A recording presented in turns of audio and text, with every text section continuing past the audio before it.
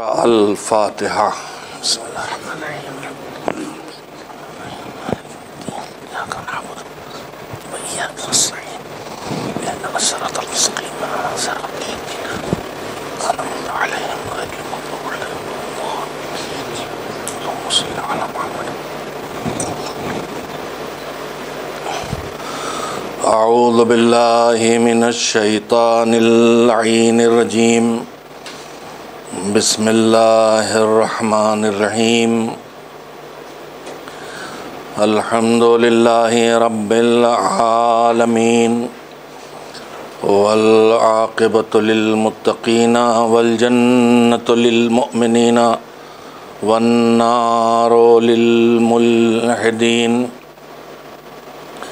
वस्सलातु वस्सलामु अला सय्यिदिल अंबिया वल मुरसलीन सैदना व नबीना व शफ़ीना अबिलकासम महमद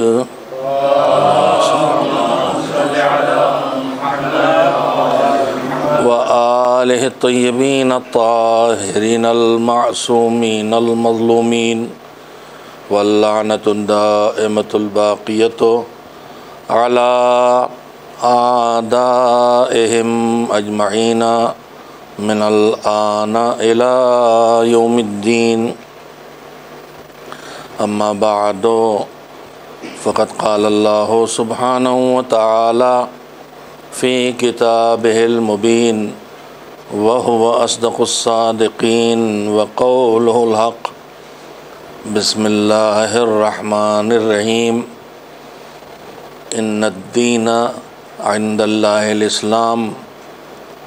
वक़ाल अल्लाह सुबहान ताली बसमीम वमैब तगैरलाम दीन फ़लयुक़बल मिन हो वहफ़िल आखिरत मिनल खासरीन। सलावाद भेज मोहम्मद वाल मोहम्मद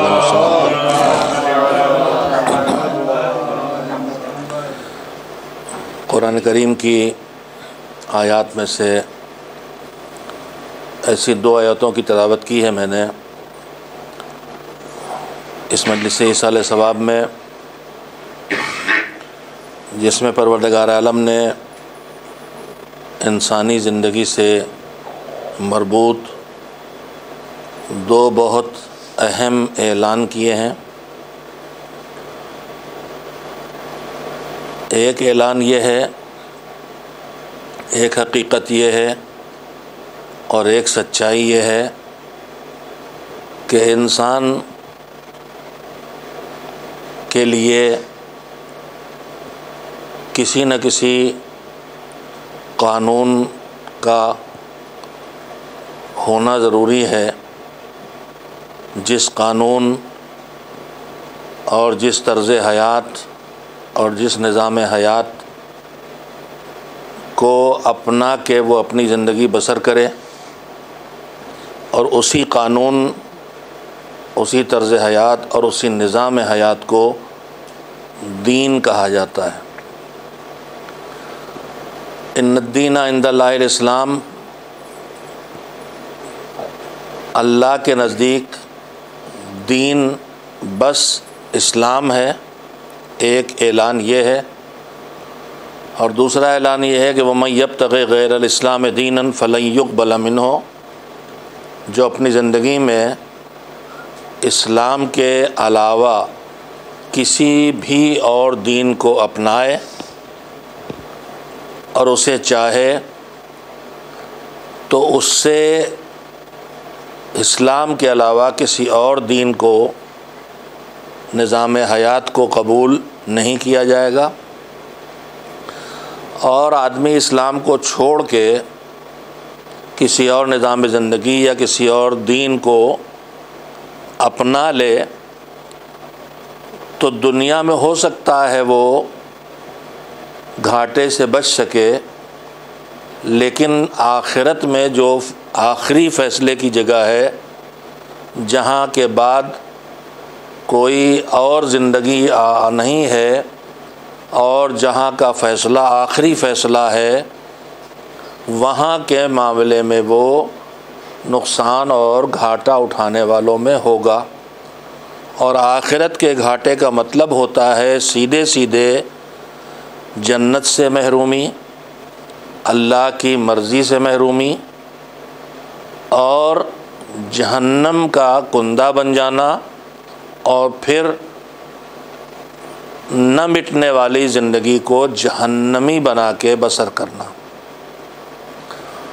दो बातें हैं जिन पर इस वक्त गुफ्तु करना चाहता हूँ। मेरे पेश नज़र चूँकि मजलिस ऑनलाइन है और बानी पूना में है।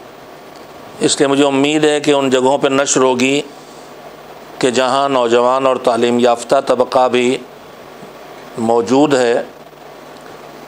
पूना एक तरक्की याफ्ता और एडवांस शहर कहलाता है और वहाँ बम्बई और बंगलोर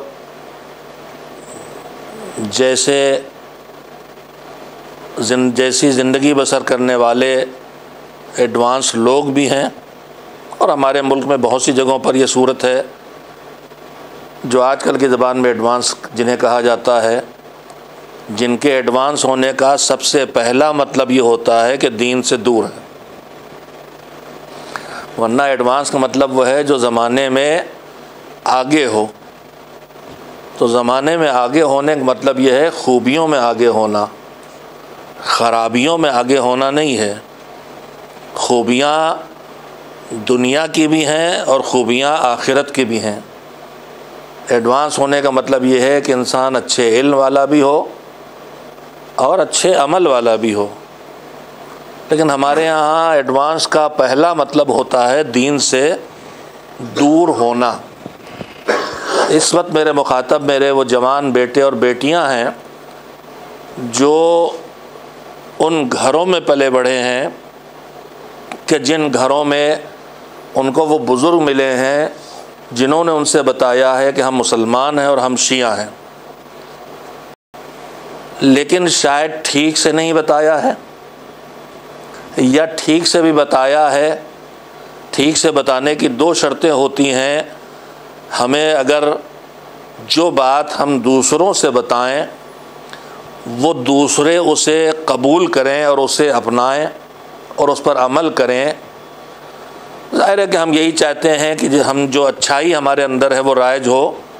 अलबत्त जिनमें बुराइयाँ होती हैं, वो भी अपना गैंग मज़बूत करने के लिए बुराइयाँ भी राइज करते हैं। मैं उनकी बात नहीं कर रहा जो इंसानियत से गिर गए। जैसे नशे की दवा बेचने वाला नशा फैला की दवा का आदि बनाता है, जैसे सिगरेट पीने वाला फ्री में सिगरेट पिलाता है पहले ताकि जब ये आदि हो जाए तो फिर इससे पिया जाए। चाय पीने वाले भी कभी ये कारोबार किया करते थे, अब वो दौर खैर गुजर गया है, सभी चाय पीते हैं। लेकिन कुछ लोग होते हैं जो मसलन खाने पीने का शौकीन है तो दो चार अच्छी चीज़ें एक आध बार आपको खिला दी, ताकि आप अब चटोरे हो जाए और फिर ज़िंदगी भर आप उनको खिलाएँ तो ये तो एक अलग किस्म है इंसानों की। मैं उनकी बात फ़िलहाल नहीं कर रहा हूँ।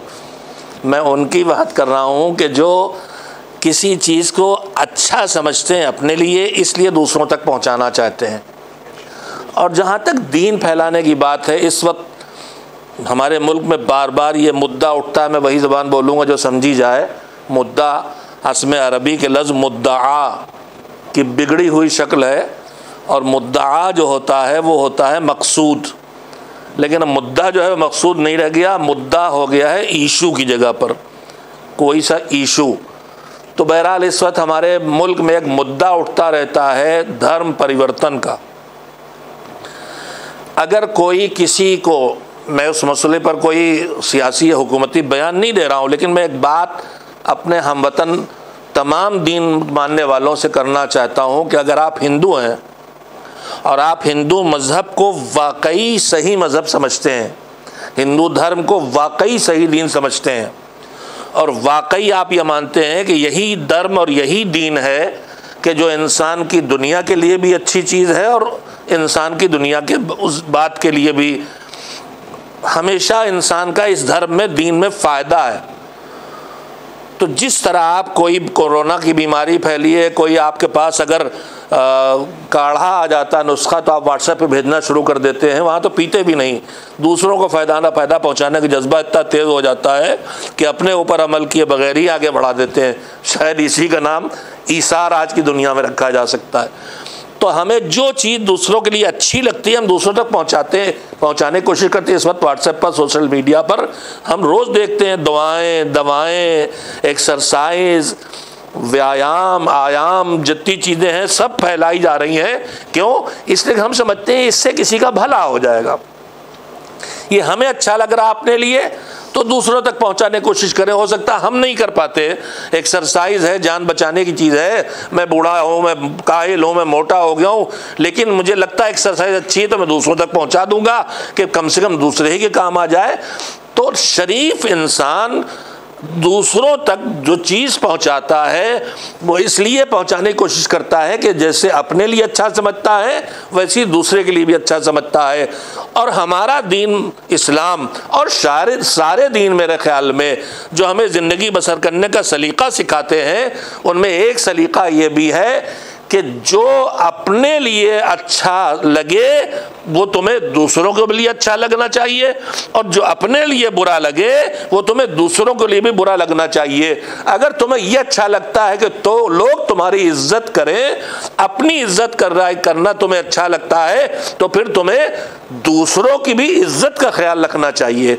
और अगर तुम्हें अपने लिए जलील होना बुरा लगता है, तुम्हारा मज़ाक उड़ाया जाए, तुम्हारी तोहन की जाए, अगर ये तुम्हारा बुरा लगता है तो फिर दूसरों के लिए भी इसे बुरा समझो, दूसरों के साथ ये ना करो। तो ये फितरत इंसानी का तकाजा भी यही है, और दीन भी हमको यही सिखाता है कि जो अपने लिए अच्छा लगे, उसे दूसरे तक पहुँचाने की कोशिश करो।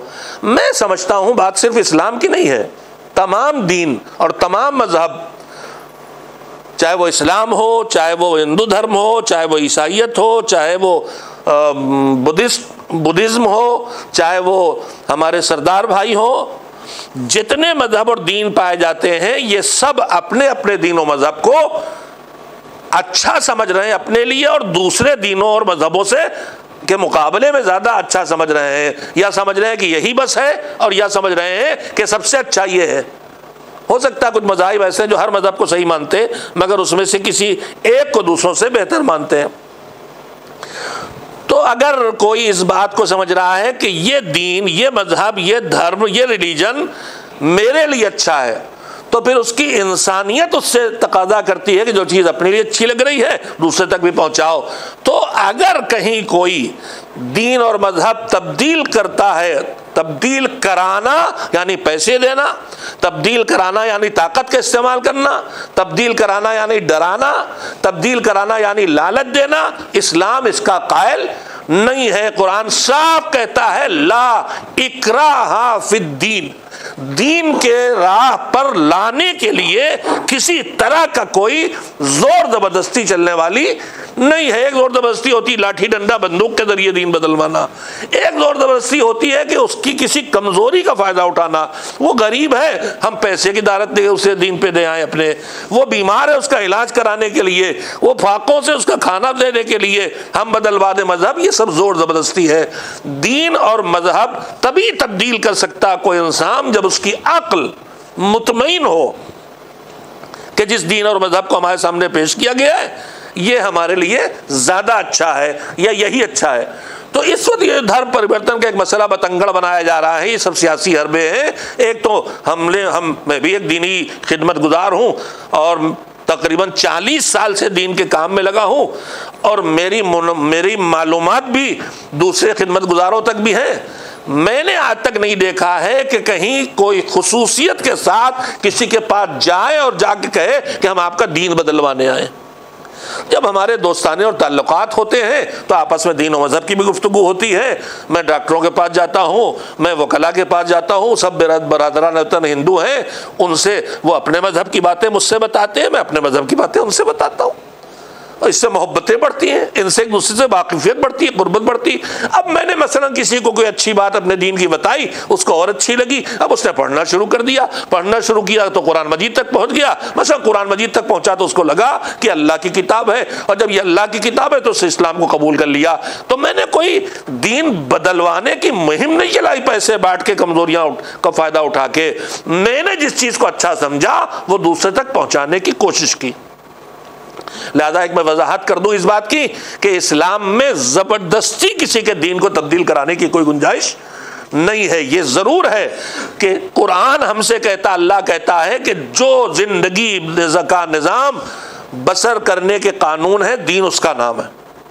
और हर दिन यही कहता है। कुछ अलबत्ता इस्लाम में दूसरे दिनों में जो फ़र्क है, उनमें एक बड़ा फ़र्क ये भी है कि बहुत से दीन और मज़हब ऐसे हैं कि जो सिर्फ़ इबादतों पे शामिल हैं कि जिसने हमें बनाया है, उससे कैसे रिश्ता बनाया जाए? लेकिन इस्लाम कहता है कि जिसने बनाया है, उससे भी रिश्ता बनाना है, और जिनके दरमियान तो में भेजा गया है, उनसे भी रिश्ता बनाना तो इस्लाम की खसूसियात जो इस्लाम की तरफ़ खींच के लाती हैं, और जो इस सवाल का जवाब बनती हैं कि इस्लाम ही क्यों? मैंने जो आयत पढ़ी है, उसमें यही है कि वह अब तक इस्लाम दीन फलयुक मिल हो जो इस्लाम के अलावा किसी और दीन को अपनाएगा, उससे उसको कबूल नहीं किया जाएगा यह कुरान का ऐलान है।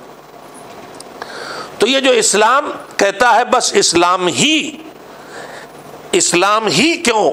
इसके जवाब में पहली, मैंने पहली बात अर्ज़ की कि कुरान ये कहता है कि बगैर दीन की ज़िंदगी नहीं चलेगी। और दूसरी बात ये अर्ज़ की है इस दिन आयात के सहारे कि दीन भी इस्लाम होना चाहिए।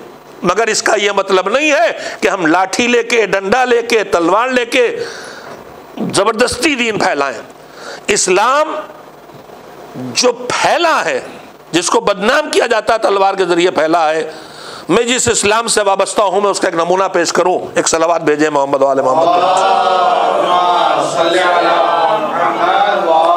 इस्लाम अखलाक से शूर से, अक्ल की बातों से, इल्म से नॉलेज से, खिदमत खल्क से, अच्छे बर्ताव से फैला है। इस्लाम तलवार के ज़ोर पे नहीं फैला, ये बदनाम किया गया इस्लाम को। तलवार के ज़रिए दीन इसमें फैल ही नहीं सकता। आप मेरे कनपट्टी में बंदूक रख, मुझसे कुछ भी कहलवा ले तो जबान से कुछ कह देने से आदमी का दीन थोड़ी बदल जाता है। दीन तो इंसान के नज़रिए बदलने से बदलता है, और इंसान की फ़िक्र को बंदूक नहीं बदल सकती। इंसान की फ़िक्र को बस फ़िक्र बदल सकती है। इंसान की फ़िक्र को बस अक्ल की बात बदल सकती है। दीन या दिल से ताल्लुक रखता है, या दिमाग से, और जब दिलो दिमाग दोनों किसी दीन और अकीदे और नज़रिए और तरीक़े हयात को तय करते हैं, तब अमली ज़िंदगी में उसका मुजाहरा शुरू होता है। जो एक खुदा को मानता है, वो एक खुदा के सामने सद्दा करता है। जो बुतों को खुदा मानता है, वो बुतों को पूजा करता है। वो उसके अकीदे का इजहार होता है इसके अकीदे का इजहार होता है। तो आप अमली ज़िंदगी में तलवार और बंदूक और लाठी डंडे से किसी के चंद कामों को बदलवा सकते हैं, लेकिन ज़ोर और ताकत से धर्म परिवर्तन कराया ही नहीं जा सकता। इस्लाम खाली, मैं किसी से नमाज़ पढ़वा लूँ तो मुसलमान नहीं हो जाएगा वो। मैं किसी से ला भी कहलवा लूँ। जबान से ज़बरदस्ती, मुसलमान नहीं हो जाएगा वो। जब तक कि वो खुद अपनी मर्ज़ी से इसे कबूल न करे। और जब तक दिल से कबूल न करे, वो मोमिन नहीं होता। वो सिर्फ़ मुस्लिम कहलाता है, अगर वो जबान से कह रहा वो भी लाठी डंडे के ज़ोर पे नहीं, वो भी अपने इख्तियार से कह रहा है। जब तक जबानों पे रहता है, तब तक इस्लाम है और वो भी लाठी डंडे के ज़ोर पे नहीं, अपने अख्तियार से जब आदमी कहता है। तो दीन ही क्यों, दीन ज़रूरी है और इस्लाम ही क्यों ज़रूरी है? ये दो बातें जिसको मैं आपकी खिदमत बस करना चाहता हूँ, लेकिन दीन ज़रूरी का मतलब ये हरगिज़ नहीं है कि ज़बरदस्ती की जाएगी दीन में। इस्लाम ही क्यों? उस सिलसिले में मैंने आपसे अर्ज़ किया कि इस्लाम के निज़ाम में एक ख़ास बात यह है कि इस्लाम सिर्फ़ अक्सर अदियान मजाहब जो अपने तब, उनके दीन की तफसीलों में जाए तो वो सिर्फ़ भगवान से अल्लाह से खुदा से गाड से रिश्ते को बताते हैं लेकिन बंदों के दरमियान कैसी ज़िंदगी बसर करना इसमें रहनुमाई नहीं है। लेकिन इस्लाम दोनों तरफ़ रहनुमाई करता है। इंसानों के बीच में कैसे रहना है?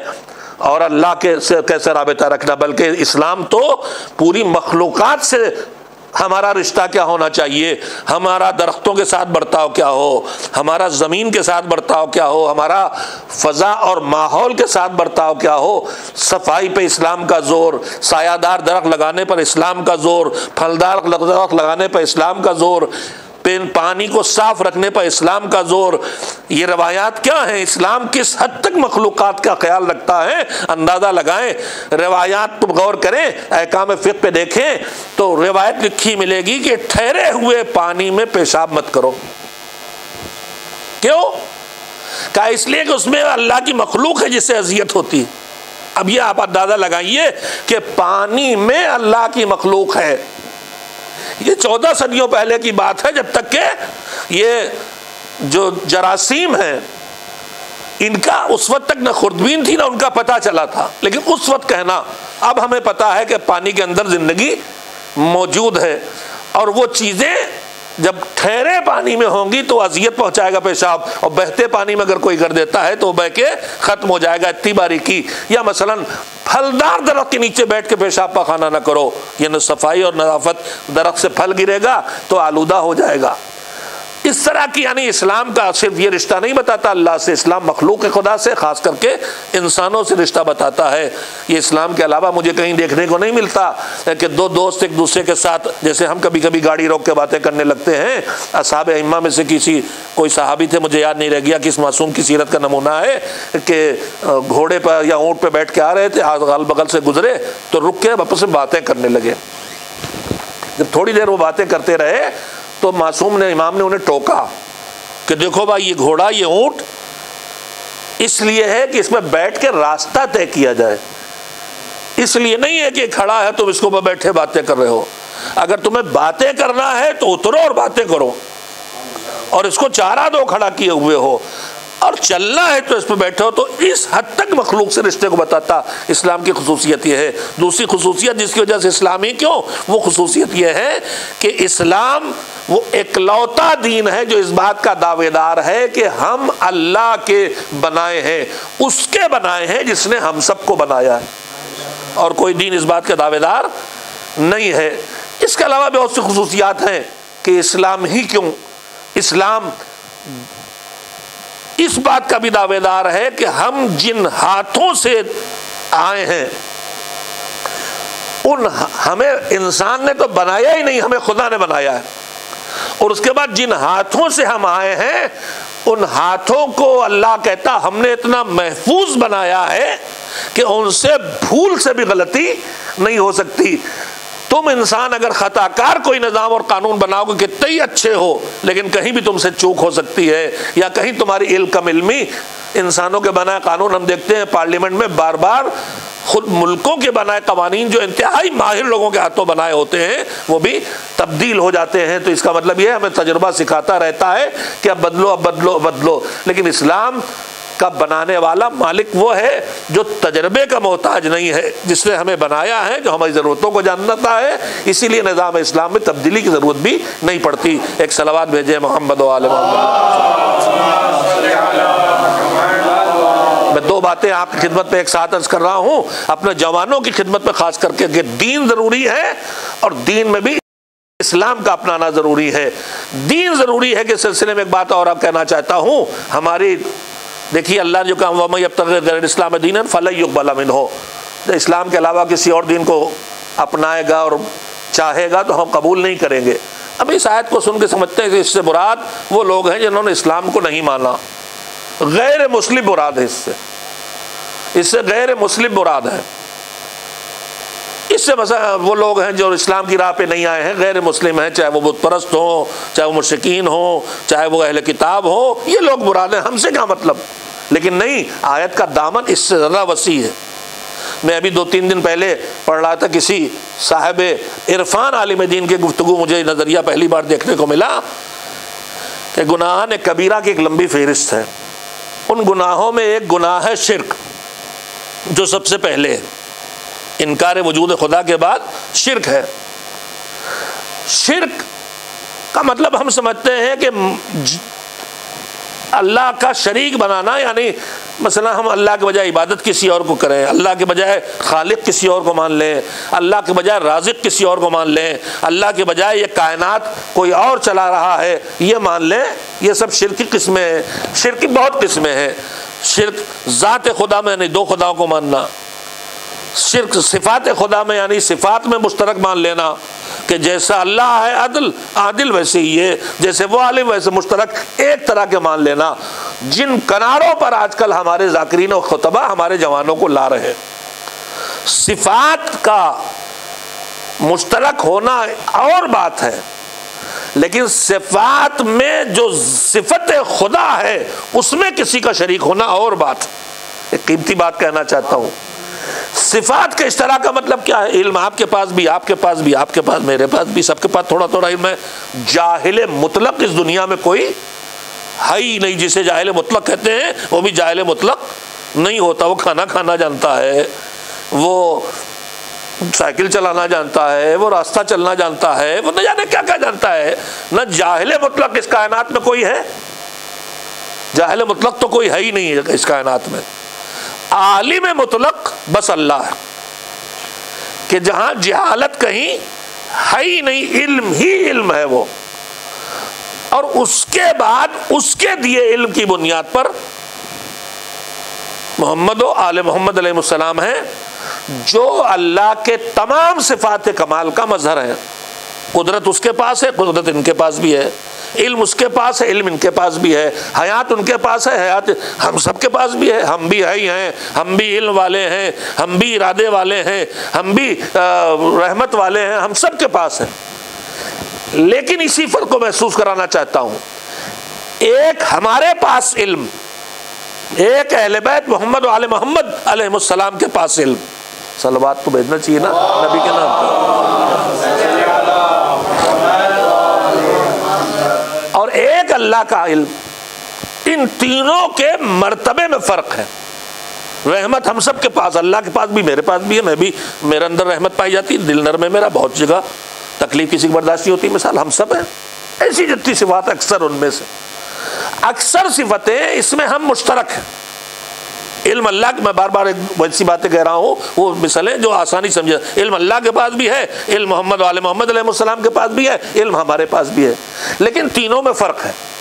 हमारे पास इल्म थोड़ा से है कहीं किसी के पास इतना से कहीं, इतना से कहीं, इतना से।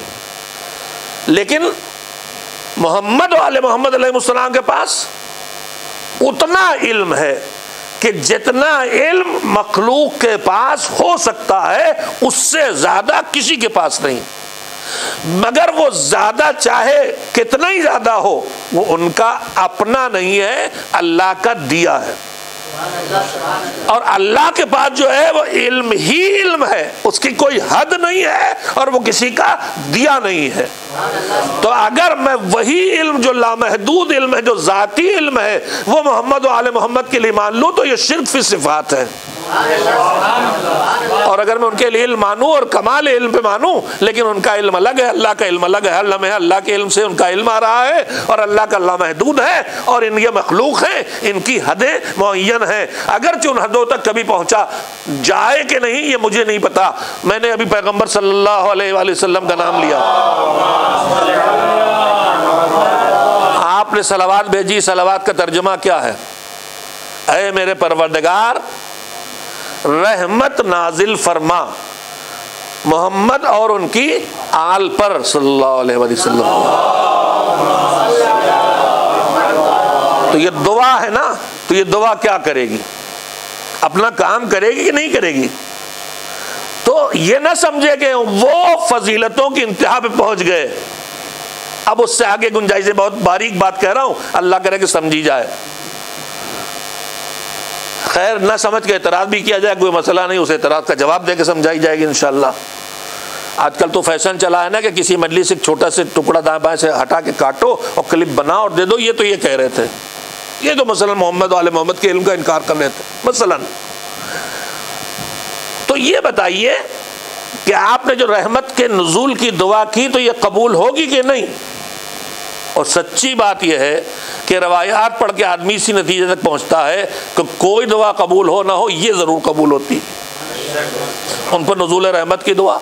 इसीलिए हमारे छठे इमाम ने ये सीरत भी सिखाई कि जब तुम्हें कोई चीज़ अल्लाह से मांगना हो तो अपनी दुआ के आगाज़ में और अपनी दुआ के अख्ताम में दोनों पर में रहमत रहमत के नजूल की दुआ करो। मोहम्मद वाले मोहम्मद पर नजूल रहमत की दुआ करो, यानी सलावात पढ़ो। क्यों? कहा, इससे तुम्हारी दुआ का कबूल होना ज़्यादा यकीनी हो जाएगा। कैसे? कहा, इसलिए कि ये वाली दुआ वो है जो अल्लाह हर एक से कबूल करता है। तो अल्लाह इससे बड़ा है कि तुम्हारी दुआओं के दो किनारे तो कबूल कर ले और बीच वाले हिस्से को छोड़ दे। इसके तो फैल भी कबूल हो जाएगा।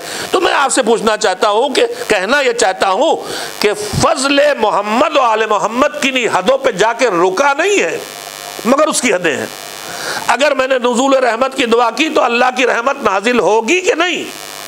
जब रहमत नाजिल होगी तो रहमत की उस जगह पे पहुँचे कि नहीं, जहाँ इससे पहले नहीं पहुँचे थे?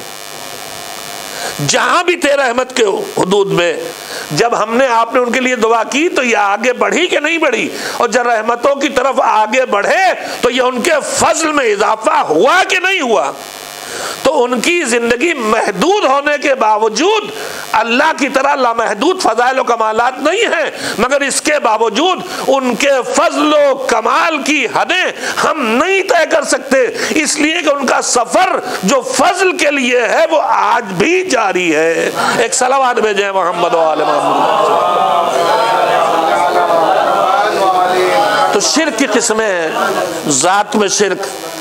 अल्लाह की ज़ात में शरीक मानना दो तीन खुदा मान लेना, भगवान मान लेना, या उसकी सिफात में शरीक मान लेना, या इबादत में शरीक मान लेना, इबादत में शरीक कर लेना मसल सद्दे करना, जो इस वक्त हमारे माशरे में बला की तरह ना आ गया है। हमारे अकीदतमंद मुहिबान मोहम्मद वाल मोहम्मद बारगाहों में, दरगाहों में शबी जहाँ बनाई गई, असल रोज़े भी नहीं। जो शबी है जिसके ऊपर असल रोज़े का कोई हुक्म लागू नहीं होता है। और ना उस जगह से वो असल रोज़े की उम्मीद रखी जा सकती है। और ना उस शबी में जो मैंने अपने हाथों से बनाई है, असल रोज़े का असर पैदा हो सकता है। इसलिए कि जो दुआ कबूल होने का मसलन वादा है खसाइस हुसैनी में, कि अल्लाह ने शहादत हुसैनी के बदले में उन्हें कुछ खसूसियतें दी हैं, उनमें से एक ही है कि उनके कुब्बे के नीचे दुआ कबूल होती है। तो उनके कुब्बे के नीचे दुआ कबूल होती का मतलब है, करबला में जो कब्र मुतहर पे कुबरा, कुब्बा बना है। ये कि मैं जहाँ शबी है, रोज़ा बना लूँ। ये तो अपनी दिल की तसली और तस्कीन के लिए हम सब करते हैं। हम उनका ताबूत उठाते हैं उनके गम के लिए। वो शबी है, ताबूत है। लेकिन उसको कांधा देने का वो अजर तो नहीं हो सकता है, जो अजर खुद उनके ताबूत को कांधा देने का होना उसका हुक्म लग सकता है। हमारे दरमियान कितनी वैसे हैं कि हज़रत बीबी जहरा का ताबूत मर्द उठा सकते हैं कि नहीं? पहली बात तो ये कि बीबियों के जनाजे जो ताबूत में हैं तो मर्द ही उठाते आए हैं। और मर्द ही उठाते हैं। दूसरी बात यह है कि बीबी जहरा के नस्ल में जितने सादात हैं, औरतों ने उनको भी रोक रखा है ना। वो तो उनकी औलाद है, महरम है, अगर आपको ना महरम लग रहा है तो वो तो महरम है, वो तो उठा ही सकते हैं, दूसरी बात। तीसरी बात वही जो मैंने कही कि क्या कहीं किसी फिक की किताब में या कीड़े किताब में लिखा है कि खातून का जनाजा नामहरम मर्द नहीं उठाएँगे। उसके बाद आखिरी बात यह कि ये जो ताबूत है ये आपने बीबी जहरा के ताबूत की शबी बनाई है, ताबूत नहीं है। और जो ताबूत उठा था बीबी जहरा का, वो किसने उठाया था? क्या औरतों ने उठाया था? औरतें में था ही कौन वहाँ? एक उनकी बेटियाँ थी कमसिन जो तड़प के रह गई घर में। उनका ताबूत किसने उठाया? उनके ताबूत में असहाब शामिल थे कि नहीं, मौला अली? हसनैन के अलावा। और कौन है? या बनी हाशिम के कुछ लोग, जनाब इबन अब्बास जैसे, और या फिर असहाब है कुछ चीदा तो इन्हीं में से तो लोगों ने उठाया। तो असल असल जनाजा जब मर्दों ने उठाया है, महरम भी और उनमें दूसरे भी शामिल हैं तो फिर आखिर ये बहस कहाँ से खड़ी होगी? ये तो शबी है, दरमियान में अंदाज आई, मैंने आपसे कह दी। तो मेरे अजीजों, मैं फिर वापस आऊँ शिर की जो किस्में हैं, शिक्र फिलबूदियत उसमें एक चीज़ हमारे दरमियान मुसीबत बन गई। अल्लाह ने एहतराम का हुक्म दिया है। मोमिन मोमिन का एहतराम करे। बुज़ुर्ग का उम्र है तो एहतराम का सबब है। इल्म है तो एहतराम का सबब है। तकवा है तो एहतराम का सबब है। एहतराम के इजहार के सैकड़ों तरीके हैं। मुसाफा करना, हाथ चूमना, उठ के खड़े होना।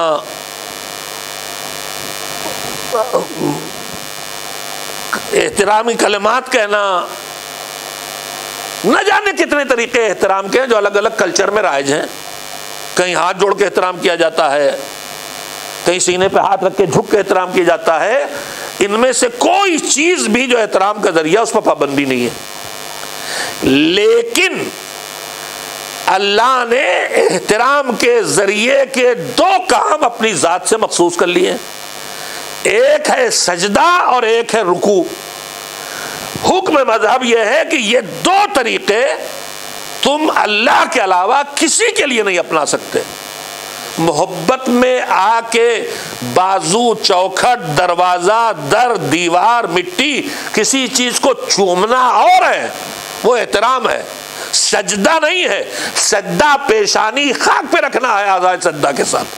ये है सद्दा। अल्लाह कहता है, ये हमारे अलावा किसी को नहीं।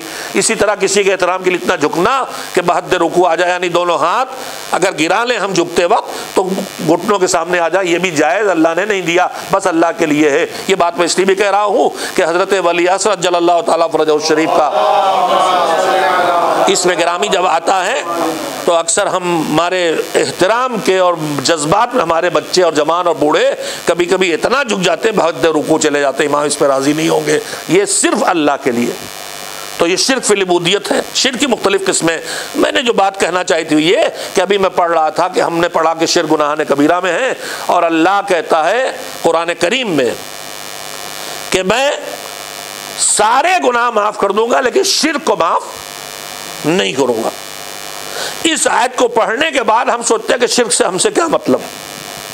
जिस मैंने आलिम जलील की गुफ्तगु सुनी, मुझे नाम याद नहीं रह गया। उन्होंने ये बात कही थी कि हम दिन रात शिरक का शिकार होते हैं।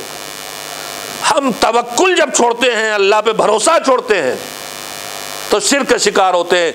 एतमाद उस पर करना चाहिए, एतमाद किसी और पे कर रहे हैं, उस पर नहीं कर रहे हैं। हम जब रोजी के लिए, उनकी बारीक बात है, आसान नहीं समझना, लेकिन कहना तो आई है मुझे तब महसूस करें, गौर करें। हम जब रोजी के लिए परेशान होते हैं तो एक छुपा शिरक है जो हमारे अंदर आता है, जब वो वादा कर रहा है कि हम तुम्हें रोजी देने वाले हम इज्जतों को ढूँढने जब दरबारों में जाते हैं तो एक शिर का शिकार होते हैं। इसलिए वो कह रहा है कि इज़्ज़त देने वाला वो है और जिल्लत भी उसी के ज़रिए होती है। तो बहुत सी चीज़ें हैं जो हमें हदूद शिरक में ले आती हैं। हदूद शिरक में ले आती हैं और उनमें से एक चीज़ रियाकारी दिखावा और बनावट है, जिसके लिए पैगंबर खुदा हज़रत मोहम्मद मुस्तफ़ा का मशहूर जुमला है कि मैं तुमसे, तुम्हारे लिए जो मुझे परेशानी है, उनमें से एक बड़ी परेशानी है कि मैं तुम्हारे मुशरक होने से परेशान हूँ।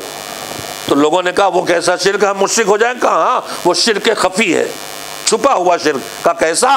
कैसे, कहा जैसे रात के तारीकी में, अंधेरे में चट्टान के नीचे कोई चीटी चलती है तो उसकी चाल जितनी छुपी होती है कोई पता नहीं चला पाता, उससे ज़्यादा छुपी चाल से वो शिर तुम्हारे दरमियान आएगा। लोगों ने पूछा, वो क्या है आखिर? तो फरमाया, वो है रियाकारी, वो है दिखावा।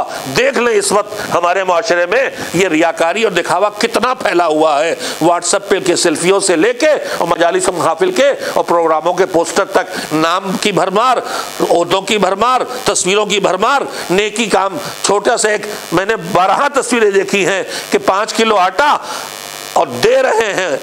दस आदमी खड़े हुए गरीब को जलील कर रहे हैं, रियाकारी में। एक दर्जन केले किसी दे रहे हैं तो चार हाथ पकड़ के उसे पकड़ा रहे हैं। हम इतना रियाकारी और दिखावे का शिकार हो चुके जो शिर की मंजिलों में है। और ये शिर के खफी है, और अल्लाह कहता है कि हम सब गुनाह माफ़ कर देंगे, लेकिन शिर को माफ़ नहीं करेंगे। तो मैंने ये कहना चाहता कि शिर का लफ्ज़ बोल आते ही हम अपने को अलग करके सोचते हैं कि शिरक से हमसे कोई मतलब नहीं, मगर हैं उसके अंदर खतरे में।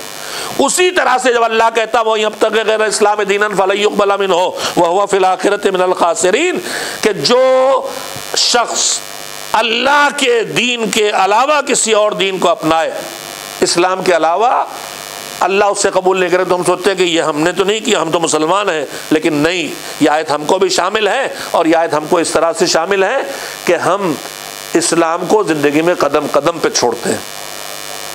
जिस वक्त हम नमाज़ कज़ा करते हैं, इस्लाम हमारे हाथ से गया।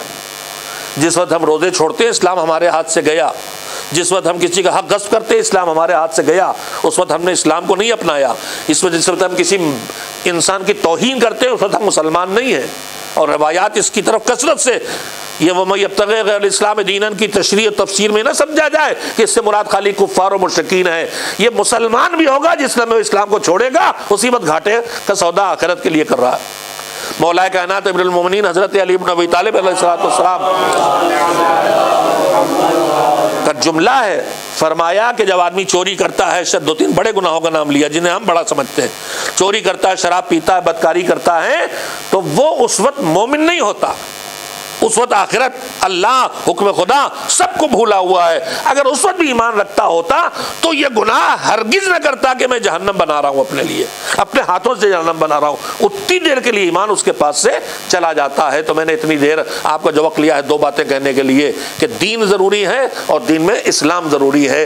बस मैं आखिरी बात कह के बात को ख़त्म करूँ। अपने जवानों से खास करके दीन ज़रूरी है। अगर आपको इस्लाम पर भरोसा नहीं होता, दीन पर भरोसा नहीं होता, आपको सब ढकोसला भी लगता है। तब भी आखिरी बात, अकल का तकाजा यह है कि आप दीन को कबूल करें और दीन पे अमल करें। आठवें इमाम से इरशादात भी हैं और हमारे छठे इमाम हज़रत जाफ़र सदक़म से रवायत की एक सीरत मुझे देखने को मिली। छठे इमाम के दौर में और बाद तक जिंदीक, मुलहिद, एथीस्ट, मुनकर खुदा, ये बहुत बढ़ गए थे और इन्हें खुली आज़ादी थी। कभी इन पर पाबंदी नहीं लगाई गई। मुख्तलिफ़ अजियान और नज़रियात को सामने आने दिया गया, उनको दलीलों से रोका गया इस्लाम में। मैंने बार बार कहा ना कि इस्लाम तलवार से नहीं फैला है। मैं दावा यूँ ही नहीं किया था आपको, मैं याद तारीख से याद दिलाऊँ। आपको याद दिलाऊँ कि जंग खंदक में बंद, जंग खंदक में अब्दुद छलांग मार के आ गया था। और पैगंबर ने ऐलान किया, कौन इसके मुकाबले में आएगा? और कोई तैयार ना हुआ। आखिर मौला उठते रहे बार बार और तीसरी बार मौला को भेजा। तो रवायत कहती है कि चूँकि इतनी देर में वो डराता रहा, कौन तुम में से है जो हमें मार के जहन्नम भेज दे और या खुद हमारे हाथों से मारा जाए और जन्नत चला जाए? चैलेंज कर रहा था आखिरत को। और पूरा लश्कर इस्लाम डरा था, अली उठे थे तो उन्हें भी बहादुरी का मुजाहरा करना था कि मैं डरा हुआ नहीं हूँ। लिहाजा रवायत कहती, अली जब निकले तो हाथ में तलवार लेके निकले और तलवार को लहराते हुए हवा में चले। लेकिन जब अपने अब्दुबुद के सामने पहुँचे तो तलवार ने में रख ली। अभी जाते लड़ना शुरू नहीं किया। तलवार न्याम में रख ली, बात शुरू की। तो फ़ौरन मोतरस कलम जो अली की जगह, कि किसी जगह कोई कमी ढूंढ निकाले, कि मुहिम में लगे रहते हैं उन्होंने कहा ये कौन सी समझदारी, दुश्मन नहीं था तो तलवार लहरा देते, और दुश्मन सामने आ गया, तलवार न्याम में रख ली। मेरे भाई, आपका एतराज़ बिल्कुल सही होता, लेकिन ज़रा रुक तो जाइए। ये देखिए, अली ने तलवार न्याम में रख के किया क्या? बचपन से हम आप सुन रहे हैं। हम बचपन से आपसे सुन रहे हैं कि इमाम ने जाके कहा कि भाई, मैंने सुना है तू अपने मुकाबिल की तीन बातों में से एक बात मानता है। कहा तो कहा, मेरी भी एक बात मान ले। तीन में से कहा, क्या?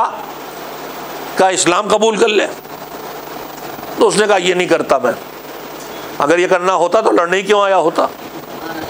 कहा अच्छा अगर ये नहीं करता है तो वापस चला जा, मुझसे ना लड़। उसने कहा, ये भी नहीं करूँगा, वरना कबीले की औरतें ताना देंगी। अच्छा इस जगह हम सब तंज बचपन से सुनते आते हैं ख़वातीन पर कि आपकी ज़बान इतनी ख़तरनाक है कि अमर इबन अब्दुद भी डरा हुआ आपकी ज़बान से। मगर यहाँ पर इसलाही पहलू निकाला मौलाना गुलाम अस्कर मकामा ने। उन्होंने कहा, मेरी बहनें सुने, मेरी बेटियाँ सुने। जब उनकी ज़बान में अल्लाह ने इतनी ताकत और सलाहियत दी है कि वो आम्र को बातिल पे खड़े रहने के लिए मज़बूत कर सकता है। और इतना मज़बूत कि बातिल पे जान देने पे तैयार है तुम्हारी जबान से बचने के लिए। तो अगर तुम अपनी जबान की सलाहियत को हक के लिए लगाना शुरू कर दो तो तुम्हारे खेमों में, तुम्हारे कुनबों के मर्द अली की तरह हक के लिए खड़े होने की ताकत उनके अंदर आ जाए। एक सलावाद भेजे मोहम्मद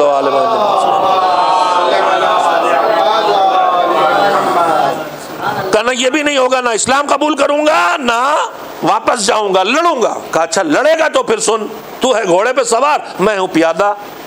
मेरे पास सवारी नहीं, बराबर का मुकाबला नहीं, घोड़े से उतारा। उसने उतरा और पैर काटे और लड़ा और मारा गया। एतराज़ ये है कि वहाँ तलवार हाथ में खींचे ऊपी तलवार लेके चले थे और दुश्मन के सामने आए। तो तलवार न्याम में रख ली, मेरे अजीजों, ये इमाम है, ये हादी है, इनका हर लम्हा कोई ना कोई हयात का पैगाम दीन देता है। अगर हाथों में उपी तलवार लेके अली कहते अमर से कि इस्लाम कबूल कर ले तो दुनिया कहती इस्लाम ज़ोर शमशीर पे फैला है। लेकिन खतरनाक दुश्मन के सामने भी जो जान लेने आया है, उसके सामने भी जब इस्लाम रखा तो तलवार न्याम में रख के दीन पेश करके बताया कि इस्लाम तलवार के ज़रिए फैला हुआ दीन नहीं है। एक सलवाद भेजे मोहम्मद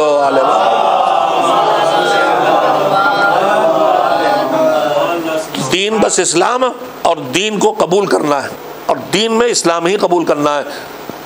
छठे इमाम हज़रत जाफ़र सदक़ के दौर में वो लोग बहुत आ गए थे जो साफ़ साफ़ दीन के मुनकर थे, अल्लाह के वजूद के मुनकर थे। इस वक्त भी हमारे दरमियान मुनकर तो नहीं, लेकिन शक वाली एक बहुत बड़ी तादाद, पता नहीं आखिरत है कि नहीं। पता नहीं हिसाब किताब है कि नहीं। पता नहीं जन्नत जहन्नम है कि नहीं। पता नहीं ये सज़ा और जजा है कि नहीं। कच्चे अकीदे वाले हम लोग। और जब ये कच्चा अकीदा है तो ये पता नहीं। उल्टी तरफ़ हमें पक्का कर देता है कि बिल्कुल ऐसा अमल करने लगते हैं, जैसे कि यकीन हो गया कि न कब्र है, न आखिरत है, न हिसाब है, न जन्नत है, न जहन्नम है। हमारी अमली ज़िंदगी ऐसी हो जाती है। मगर यहाँ अकल का तकाजा, क्या अकल का तकाजा है? दीन को कबूल करना और दीन पे अमल करना। छठे इमाम ने इसरा को सुझाया है, समझाया है। इमाम के सामने हज का ज़माना है, भीड़ लगी है तवाक चल रहा है। इमाम का खैमा वहीं कहीं लगा है। दहरिया आया और उसने आके खुल के गुफ्तगु शुरू की और उसने कहना शुरू किया अपनी बात को। किस तरह? उसने आके मज़ाक उड़ाया, हाजियों का जो तवाफ कर रहे थे देखिए एक पत्थर के घर का चक्कर लगा रहे हैं। जो हमारे एडवांस लोग इस तरह की बातें करते हैं। कोई मर्दे का मज़ाक उड़ाता है, कोई दाढ़ी का मज़ाक उड़ाता है, कोई खुमुस का मज़ाक उड़ाता है, कोई नमाज़ का मज़ाक उड़ाता है। तो कहिए देखिए, कैसे जानवरों की तरह बस चक्कर लगा रहे हैं। इमाम ने उसकी बात सुनी, गौर से सुनिएगा। इमाम ने फरमाया, सुनो, दो में से एक बात सही है। या वो लोग जो ये तवाफ़ कर रहे हैं, ये जो कहते हैं वो सही है, और या जो तुम कह रहे हो ये सही है। दोनों क्या कह रहे हैं? ये कह रहा कोई खुदा नहीं, कोई हिसाब किताब नहीं, कोई दीन नहीं, कोई मज़हब नहीं, कोई कानून नहीं, जैसे चाहो जियो। और वो क्या कह रहे हैं? खुदा है, कानून है, मज़हब है हिसाब किताब है, लिहाजा हम वैसे जिएँगे जैसे अल्लाह हमसे कह रहा करने को। इमाम ने उससे फरमाया कि सुनो,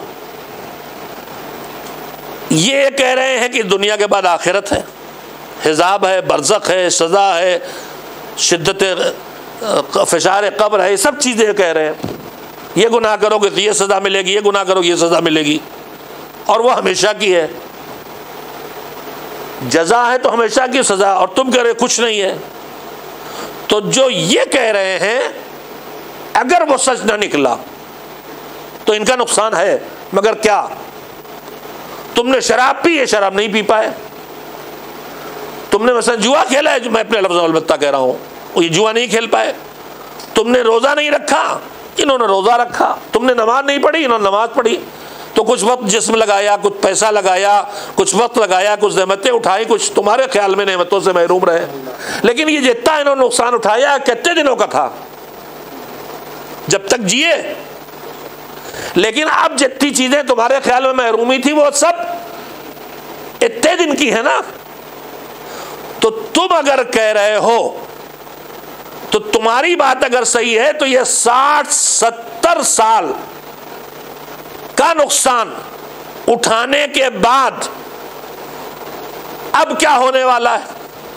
और अगर वो जो कह रहे हैं, वो सही है वो कह रहे हैं कि आखिरत है, जजा है, सजा है, मुसीबत है, नेमत है, आखिरत हमेशा वाली है। अगर जो वो कह रहे हैं वो सही है तो जो वो कह रहे हैं वो सही है। अगर वही सही निकला तो नतीजा क्या होगा? का अगर तुम कह रहे हो जो वो सही है, कि ना आखिरत, ना जजा, ना सजा तो ये साठ, सत्तर साल की ज़िंदगी में कुछ नेमतों से महरूम रहे, कुछ मुश्किलों का सामना हुआ, फिर ज़िंदगी खत्म, किस्सा तमाम। इतना ही घाटा हुआ ना इनका। लेकिन अगर जो ये मुसलमान है, ये जो कह रहे हैं, वो सही है। तो फिर अब तुम बताओ तुम्हारा हश क्या होगा? तुमने साठ, सत्तर साल में नेमतें भी उठा ली, मुसीबतों से भी निकाल लिया, लेकिन अब इसके बाद हमेशा की उस ज़िंदगी का सामना करने वाले हो कि जिस ज़िंदगी में मुसीबतें ही मुसीबतें हैं और नेमतों से महरूम ही महरूमी है तो अगर जो मुसलमान कहता वो सही निकलेगा तो मुश्किल थोड़ी मुद्दत की छोटी मुश्किल है। और जो तुम सही कह रहे हो, अगर वो अगर जो तुम सही कह रहे हो, वो सही निकलेगा। तो मुश्किल थोड़ी मुद्दत तो छोटी मुद्दत की है। लेकिन अगर मुसलमान जो सही कह रहा है, वो सही निकला तो तुम्हारी मुश्किल बड़ी मुश्किल भी है और बड़ी मुद्दत की भी है। इस बात को बच्चे तक महसूस कराने के लिए आगा कराती, अल्लाह उनकी ज़िंदगी की हिफाजत करे। मैं उनकी दो मिसालें सुनी कि अकल का तकाजा है कि दीन को कबूल करके दीन पर अमल किया जाए। कहीं बताइए क्या अकल हम इस तरह के काम और नहीं करते? करते। ये बताइए कि ये जो हर जगह इदारे और शोबे होते हैं डिपार्टमेंट होते हैं आग बुझाने के। फायर ब्रिगेड वाले। ये फायर ब्रिगेड में पैसा लगता है कि नहीं? तनख्वाहें भी दी जाती हैं, गैस भी खरीदी जाती है, वो एक्सपायर हो जाती है, गाड़ियाँ खरीदी जाती हैं, बेकार हो जाती हैं। पैसा अच्छा खासा लगता है। कभी कोई ज़रूरत पड़ी तो पड़ी। मगर इसके बावजूद दुनिया के हर जगह, हर आबादी, हर शहर में फायर ब्रिगेड होता है। क्यों? कहा अगर ज़रूरत न पड़ी तो थोड़ा सा नुकसान हो रहा है। और अगर ज़रूरत पड़ गई और फायर ब्रिगेड न हुआ तो फिर नुकसान ही नुकसान है। सब जल के तबाह हो जाएगा। क्या इतनी बड़ी बड़ी आर्मी पाली जाती है, क्या हर मुल्क लड़ रहा है पूरी दुनिया में? कहा नहीं, लड़ता नहीं कहा ये पूरे पूरे खर्चे बहुत बड़े बड़े फौजों पे होते रहते हैं। कहा ये न करें, रोक दे कहा नहीं? करता हर मुल्क क्यों? इसलिए कि कर रहे हैं जो भी खर्चा हो रहा मगर है तो और ये न करें और कोई हमला कर दे तो निहत्ते होंगे, मुल्क मिट जाएगा, कौम मिट जाएगी, नस्ल मिट जाएगी।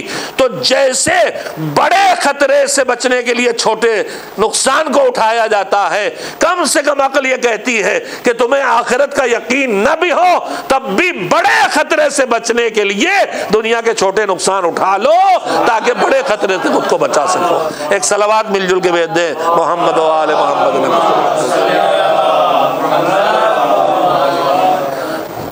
दीन अपनी तरफ़ खुद अपने खींच के लाता है। ये दीन से दूरी जो जवानों में है, दीन से बेखबरी का नतीजा है। मैं आपकी गर्मी और जहमत को महसूस कर रहा हूँ और आपकी नुमाइंदगी मुझे मुसलसल एहसास दिला रही है। एक सलवात भेजे मोहम्मद वाले मोहम्मद को। शायद बात थोड़ी दुलानी हो गई, मैं बस बस बात को करता हूँ। मेरे अजीज़ों, हमारी ज़रूरतों में जितनी ज़रूरतें हैं, उस दीन की कीमत को मेरे बच्चे जो दीन से थोड़ा दूर हैं वो और महसूस कर सके। मैं आपसे पूछता हूँ, एक लाख चौबीस हज़ार नबी और चौदह मासूम उनके बाद, बारह बारह इमाम और मासूम कौन है? हज़रत फ़ातमतज़हरा सलाम अल्लाह ने इन सब की ज़िंदगियाँ किस मिशन पे लगाई?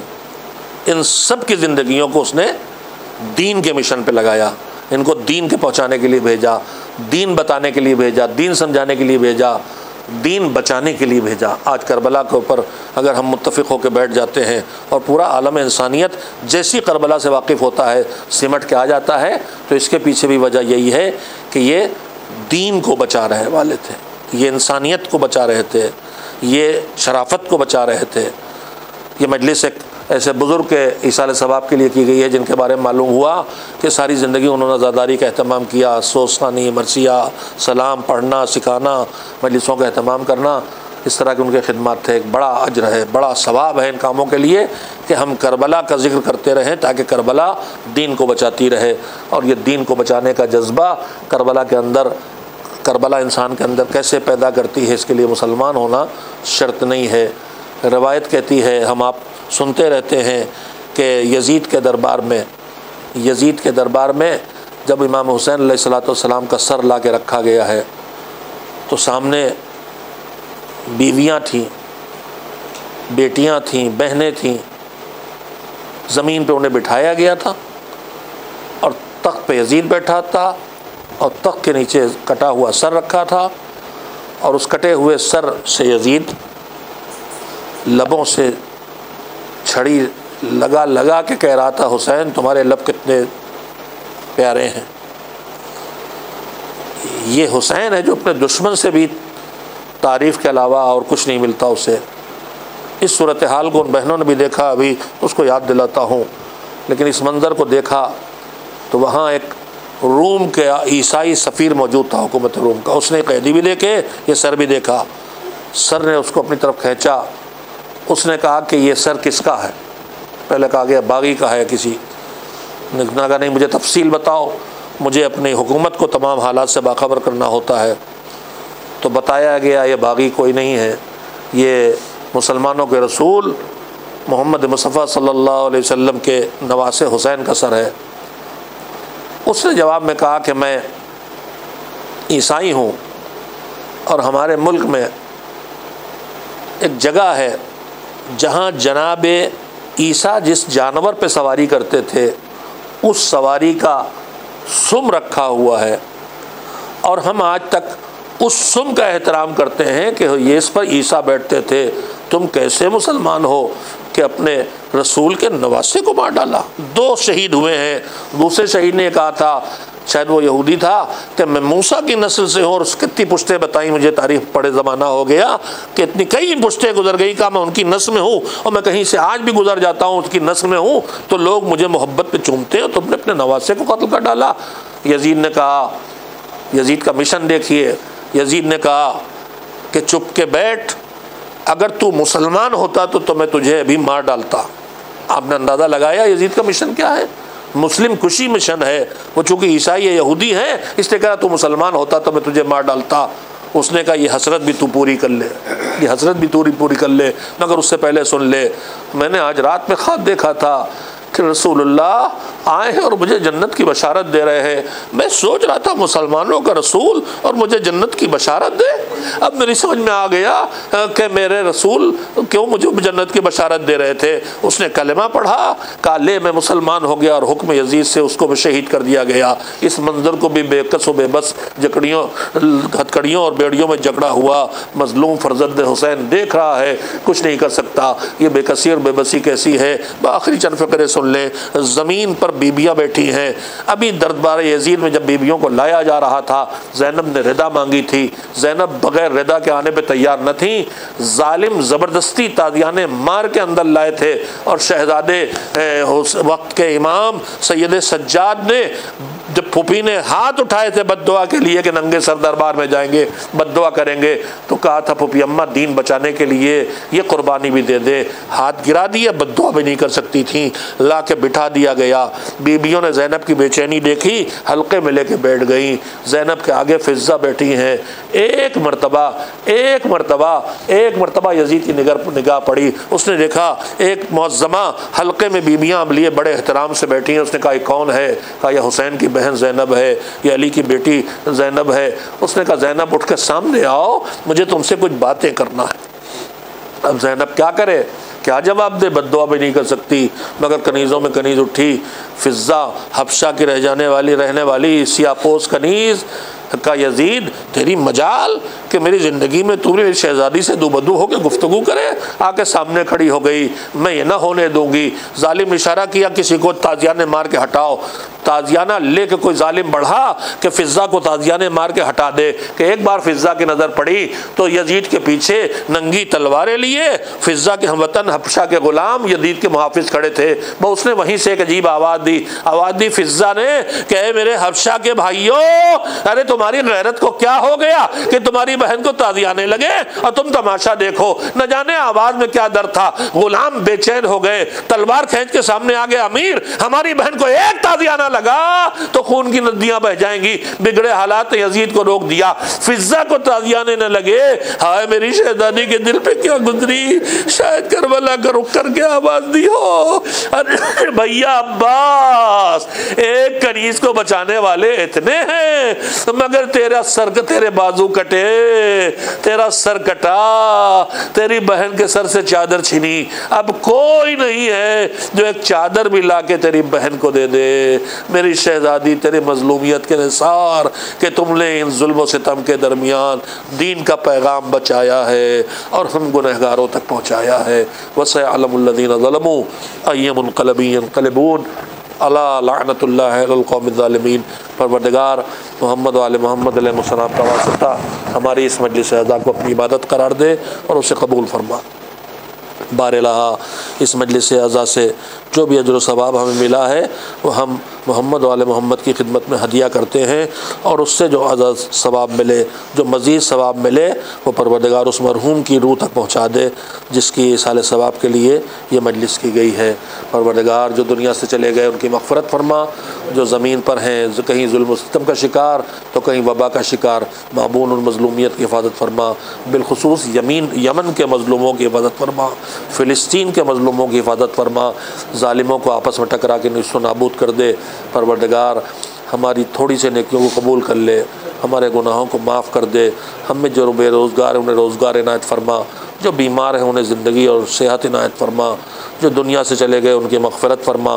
परवरदगार, दीन के खिदमत गुज़ार फ़ुका बिलखसूस रहबर इनकलाब इस्लामी और आयतुल्लामा सिस्तानी की हिफाजत फरमा। परवरदगार अतबात आलियात और अपने घर की ज़्यारत का शरफ़ इनायत फरमा।